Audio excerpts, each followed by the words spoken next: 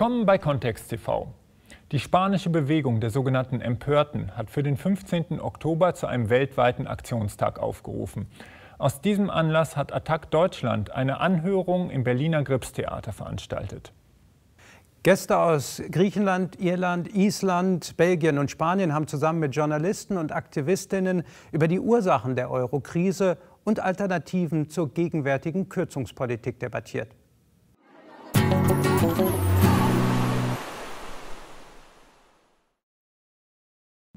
Unser Gast ist nun Aris Chatzistefanou, Filmemacher aus Athen, bekannt durch den Film Detocracy, der inzwischen von 1,5 Millionen Zuschauern in Griechenland und weltweit gesehen wurde. Welcome Willkommen bei Kontext TV, Aris Chatzistefanou. Thank you for having me. Wie heißt Ihr Film? Worum geht es darin und wie wurde er in Griechenland und anderswo aufgenommen? Uh, our documentary is called Detocracy. It's uh, playing with the words death and uh, and democracy at the same time because we believe that the debt crisis in uh, Greece and not only in Greece but in the European periphery as a whole it's not only about economics it's also about uh, democracy Unser Dokumentarfilm heißt Debtocracy, ein Wortspiel aus dem englischen Debt, Schulden und Democracy. Wir glauben nämlich, dass die Schuldenkrise in Griechenland und anderen Ländern der europäischen Peripherie nicht nur die Wirtschaft, sondern auch die Demokratie betrifft. Im Grunde ist sie ein politischer Konflikt. Wir wollten dem griechischen Publikum erklären, dass die Europäische Zentralbank, die griechische Regierung oder auch die deutsche im Unrecht sind, wenn sie behaupten, wir seien an allem schuld, weil wir mehr ausgegeben hätten, als wir je wieder herein verdienen könnten. Vielmehr ist der Hauptgrund eine strukturelle Krise des gesamten Finanzsystems, die nicht in den Jahren 2007, 2008, sondern bereits in den späten 60er und frühen 70er Jahren begonnen hatte. Damals fand man eine Übergangslösung im Neoliberalismus auf Kosten der arbeitenden Bevölkerung. Das Finanzsystem wurde eine Zeit lang am Leben erhalten, bis sich 2007, 2008 zeigte, dass es nicht mehr lebensfähig war, da die zu seiner Erhaltung nötigen Wachstumsraten nicht mehr garantiert werden konnten. Neben den strukturellen Mängeln des Weltfinanzsystems wollten wir auch die Strukturschwächen der Eurozone ansprechen, denn auch sie leidet an einem Grundproblem. Sie bringt an der europäischen Peripherie Haushaltsdefizite und Schulden hervor, während im Zentrum Europas, in Deutschland oder Frankreich, Überschüsse entstehen. Natürlich hat Griechenlands Wirtschaft erhebliche Probleme. Aber selbst wenn dort alles tadellos funktionierte, würde dieses System weiterhin zu einer Verschuldung führen. Daher ist mittlerweile sogar die Möglichkeit eines Austritts aus dem Euro-Währungsraum im Gespräch, obwohl dies im letzten Jahrzehnt immer tabuisiert wurde. Wir wissen, dass auch das nicht einfach wäre und neue Schwierigkeiten brächte, aber der Vorschlag ist auf dem Tisch und wird diskutiert. Unser Anliegen waren die strukturellen Probleme im Weltfinanzsystem, in der Eurozone und natürlich auch in der griechischen Wirtschaft. Sie sind der Grund für die Verschuldung und nicht das Verhalten der Menschen. Welche Auswirkungen hat die Krise hinsichtlich Beschäftigung, Bildung und anderer öffentlicher Aufgaben auf die griechische Bevölkerung? What the Greek government is doing at the moment by obeying the orders that it takes from European Central Bank and the International Monetary Fund can be characterized as a social genocide. For the first time after Second World War, there is a generation of small children that they don't have enough food, which was unimaginable uh, for some months ago, uh, some years ago and some Die griechische Regierung betreibt zurzeit, indem sie den Anweisungen der Europäischen Zentralbank und des Internationalen Währungsfonds nachkommt, eine Art sozialen Genozid. Zum ersten Mal seit dem Zweiten Weltkrieg haben kleine Kinder nicht mehr genug zu essen. Vor einigen Monaten, Jahren oder Jahrzehnten wäre das noch undenkbar gewesen. Das griechische Sozialwesen fällt der völligen Zerstörung anheim. Die Arbeitslosigkeit liegt bei 16 Prozent und wird sicherlich in den nächsten Monaten auf mehr als 20 Prozent ansteigen. Die griechische Regierung versucht, das Arbeitsrecht des 19. Jahrhunderts wieder einzuführen. Die arbeitsrechtlichen Errungenschaften des 20. Jahrhunderts werden über Bord geworfen. Das beste Beispiel für die desaströsen Zustände im Zentrum Athens ist Ärzte der Welt, eine Organisation, die sonst in Subsahara-Afrika, in Ländern wie Uganda oder Äthiopien tätig ist. Jetzt ist sie in Athens Stadtmitte im Einsatz und ihr Vorsitzender erklärte mir, dort sei eine humanitäre Krise ausgebrochen. Überall, wo der IWF einschreitet, gibt es die gleiche Entwicklung was telling me that they are facing a humanitarian crisis in the center of Athens. So it's the same situation that happens everywhere that the IMF is going, and uh, that's the case for Greece too. Bezeichnenderweise gingen ja auch die Strukturreformen in der dritten Welt seit den 80er Jahren vom IWF aus. Passiert dasselbe jetzt in Griechenland? Some people say that the IMF has changed, but we can tell you that that's not true. They, they are doing exactly the same things that they, are, they were doing in Latin America, in Africa, in poor countries, in Asia. They are Einige behaupten, der IWF habe sich verändert, aber das stimmt nicht. Er macht jetzt genau dasselbe wie in Südamerika, in Afrika oder in den armen Ländern Asiens. Er zerstört das Sozialwesen, um die Löhne zu drücken und alles zu privatisieren. Das werden wir auch in unserem nächsten Dokumentarfilm ansprechen, weil wir gesehen haben, was in Argentinien oder Ecuador passiert ist, als der IWF sich einmischte, um das gesamte öffentliche Eigentum zu veräußern und zu privatisieren. Genauso verfährt er in Griechenland und hat sogar dieselben Leute geschickt. Zum Beispiel Bob Traa, der die IWF-Mission in Ecuador geleitet hat und dort den Stromversorger privatisieren wollte. Jetzt arbeitet er in Athen, in einem europäischen Land nach dem gleichen Muster wie in den sogenannten Ländern der dritten Welt.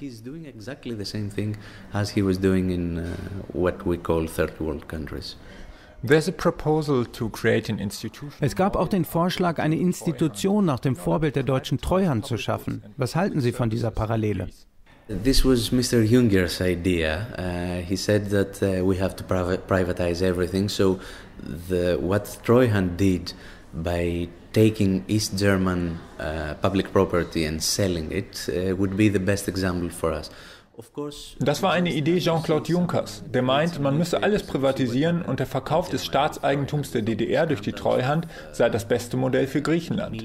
Wer Zeitung liest, weiß natürlich um die Skandale im Zusammenhang mit der Treuhand und die Millionen Menschen, die ihren Arbeitsplatz verloren haben. Wir wissen also, dass man diesem Beispiel nicht folgen darf, obgleich die Lage nicht ganz vergleichbar ist. Griechenland ist nicht die DDR, es hat eine ganz andere Volkswirtschaft. Aber wir wollen die Irrtümer der Treuhand trotzdem nicht wiederholen. We have seen that Treuhand example failed and we are not going to tolerate this to happen again. Sie erwähnten bereits, dass man die angebliche Faulheit der Griechen als Wurzel allen Übels präsentiert.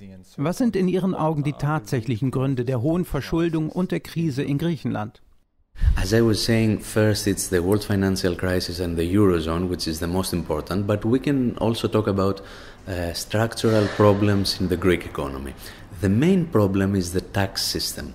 Uh, Greece is like a tax heaven for the rich people and a tax hell for all the other. Uh, Wie gesagt, die Hauptgründe sind die Weltfinanzkrise und die Strukturdefizite der Eurozone. Aber auch in der griechischen Wirtschaft existieren Missstände. Das Hauptproblem ist das Steuersystem. Griechenland ist ein Steuerparadies für Reiche und eine Steuerhölle für alle anderen.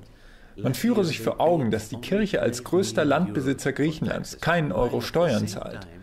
Die griechischen Reeder besitzen die zweitgrößte Handelsflotte der Welt und haben trotzdem letztes Jahr nur 12 Millionen Euro an den Staat gezahlt. Illegale Immigranten, die eine Aufenthaltsgenehmigung erwerben wollten, mussten hingegen 50 Millionen Euro entrichten, fünfmal so viel wie die Reedereien.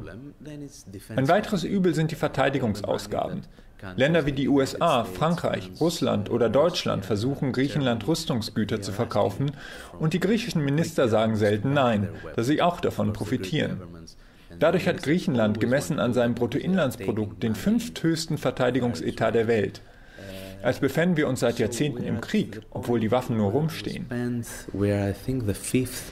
Uh, country as a percentage of uh, GDP to the money that we spend for army. It's like being in a war for decades, although we just have the, the weapons sitting there.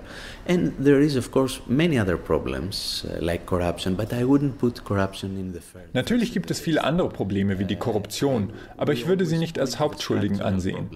Wir weisen immer auf die Strukturprobleme hin, denn selbst mit den erhöhten Steuereinnahmen und selbst wenn wir alle korrupten Politiker aus dem Amt entfernen, werden wir in einigen Jahren wieder denselben Verschuldungsgrad erreicht haben. Wir glauben, dass der Euro und die Eurozone eigentlich für die Verschuldung verantwortlich sind. We believe that it's the euro and the Eurozone at the center of this problem, creating the deficits and the debt.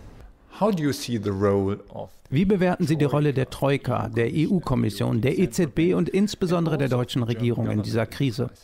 Some people say that uh, what is happening right now in Greece is uh, an economic occupation. And uh, I think they are right to, to say that.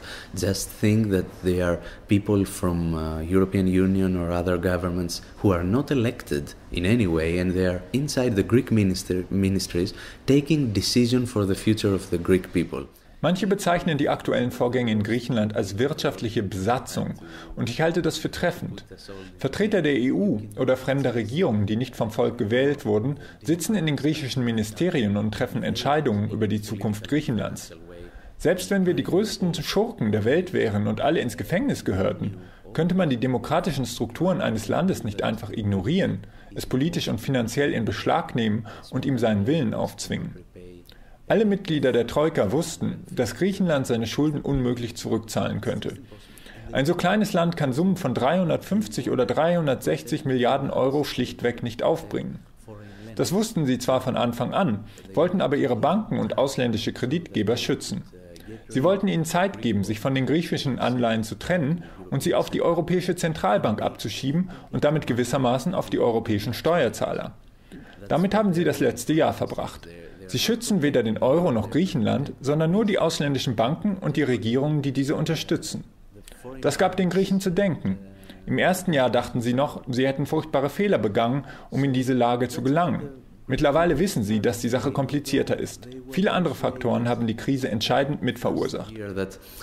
oh my God, we we must have done something terribly wrong to be in this situation. Now they understand that it's not so simple. There are many other factors uh, that played a crucial role in creating this uh, crisis. What could be done as an alternative? Welche Alternativen gibt es zur aktuellen Krisenpolitik?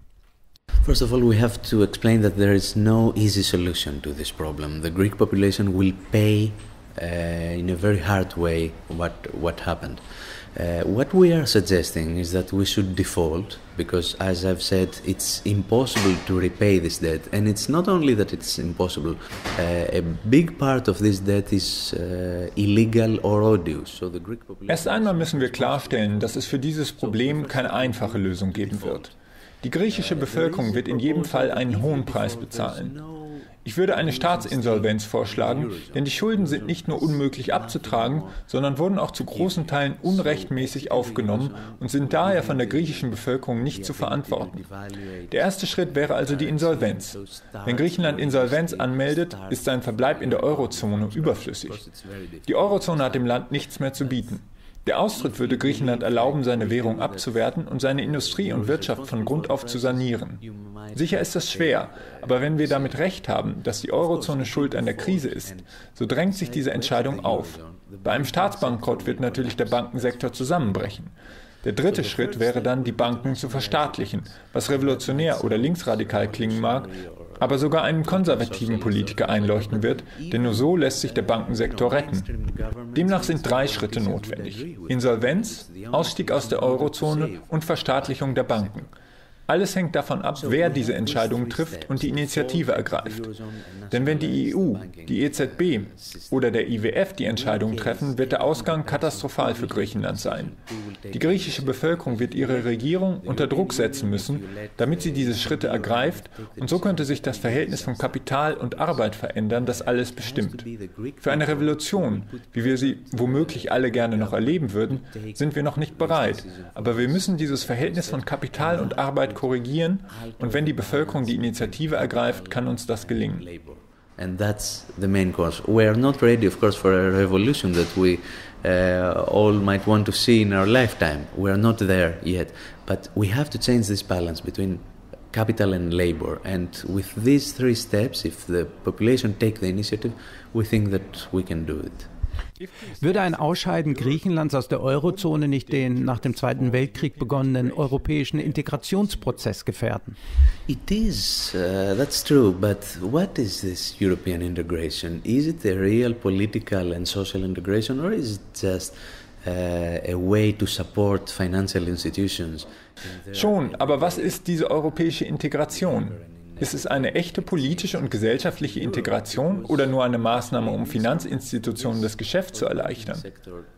Der Euro war ja tatsächlich ein Instrument zur Verbesserung des Bankensektors und der Aktienmärkte. Eine echte europäische Völkergemeinschaft, wie wir sie uns wünschen, gibt es nicht. Es wäre schön, wenn alle Europäer eine gemeinsame Nation bilden könnten, aber mit dieser Europäischen Union ist das nicht möglich. Sie ist nur das Werkzeug einiger Finanzinstitutionen und dient nicht den Menschen in Europa. for uh, some uh, financial institutions. It's not a tool for the people of Europe. What about the Greek movements? Glauben Sie, dass die griechische Bewegung Alternativen anzubieten hat? Was passiert dort im Moment? Wohin geht die Bewegung? Und wie hängt sie mit anderen Bewegungen in Spanien, den USA, Stichwort Occupy Wall Street und Nordafrika zusammen? The problem with uh, in Greece right now is that there is no political movement or political party to take the initiative and make specific suggestions about the crisis and the, the exit from the crisis. So the people are there, they will demonstrate. Uh, we believe that there will be a riot because if you don't have enough food for your children. Uh, In Griechenland gibt es leider derzeit keine politische Bewegung oder Partei, welche die Initiative ergreifen und einen konkreten Ausweg aus der Krise aufzeigen könnte. Die Menschen sind da, sie demonstrieren und es wird zu Krawallen kommen, denn das passiert, wenn Menschen nicht genug zu essen für ihre Kinder haben. Die Frage ist, was kommt danach? In Argentinien war es dasselbe. Die Menschen sind auf die Straße gegangen, aber es fehlte eine politische Bewegung, um sie zu leiten. Das Ergebnis, zunächst haben sie gesiegt. Die Regierung Kirchner war gezwungen, dem IWF eine Abfuhr zu erteilen. Einige Jahre später gab es dann eine politische Strömung, die den Menschen eine politische Vision bot.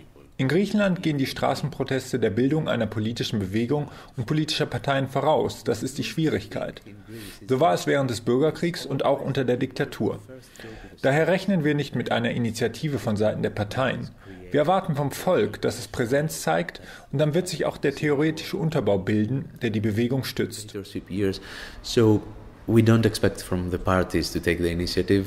We expect from the people to be there and then we might find also, you know, the theoretic background to support this uh, movement. Wie steht es mit der Verbindung zu Occupy Wall Street? Könnte Ihrer Ansicht nach die aktuelle Bewegung einen Einfluss auf Griechenland haben? All these movements, starting from Tunisia, Egypt, um, uh, Spain, and then Greece, and now New York and other uh, cities in the United States, we have to understand that start. All diese Bewegungen, angefangen in Tunesien und Ägypten, in Spanien, Griechenland und nun in New York und anderen Städten der USA, fordern das Gleiche. Die Abschaffung des neoliberalen Paradigmas, dem wir die letzten zwei oder drei Jahrzehnte lang gehorchen mussten. Ihre Forderungen sind im Wesentlichen wirtschaftlicher Art. Sie verlangen nicht nur Demokratie, sondern Wirtschaftsdemokratie, wenn man es so nennen kann. Das heißt, ja, wir haben vieles gemeinsam. Natürlich sind der Grad der Politisierung und der Hintergrund der Bewegungen von Land zu Land unterschiedlich. Wir gehen nicht alle denselben Weg, aber unser Ausgangspunkt und unsere Ziele sind dieselben. Das verbindet uns. We are not following necessarily the same path, but we've started from the same point and we want the same thing. So yes, we're all together in that. Eine letzte Frage. Sie erwähnten bereits ein neues Projekt. Würden Sie uns davon erzählen? In the last days of October, we will announce the new title. It will be again about economy and it will be again a, a crowdsourcing operation. We will ask from the people to support us, and that's how we made Wir werden Ende Oktober den neuen Titel bekannt geben. Es wird wieder um Wirtschaft gehen und wir werden uns wieder über Crowdfunding, also über Spenden aus der Netzgemeinde finanzieren. So haben wir es bei Detocracy, unserem ersten Dokumentarfilm, gemacht. Ganz normale Menschen wie Sie und ich waren bereit, uns über PayPal oder per Überweisung etwas Geld zu spenden. Damit konnten wir den Film bezahlen. Wir glauben, die Zuschauer waren mit dem Ergebnis zufrieden. Zwei Millionen haben den ersten Film bereits gesehen. Also werden wir Sie wieder um Unterstützung bitten, um uns nicht an Firmen oder Parteien wenden zu müssen. So ist das Volk unser einziger Sponsor. Es wird ein neuer Dokumentarfilm über die Wirtschaft mit Griechenland als Einstiegspunkt, aber auch diesmal nicht nur auf Griechenland bezogen. Auch Finanzinstitutionen im Allgemeinen und die Privatisierung werden Thema sein. Bei den Deutschen mit ihrer Treuhand wird der Film ebenfalls Erinnerungen wecken. So Germany with Treuhand with, uh, will have something to remember, I think, uh, from this new documentary. Thank you very much, Ares Stefanu, for being with us. Thank you very much.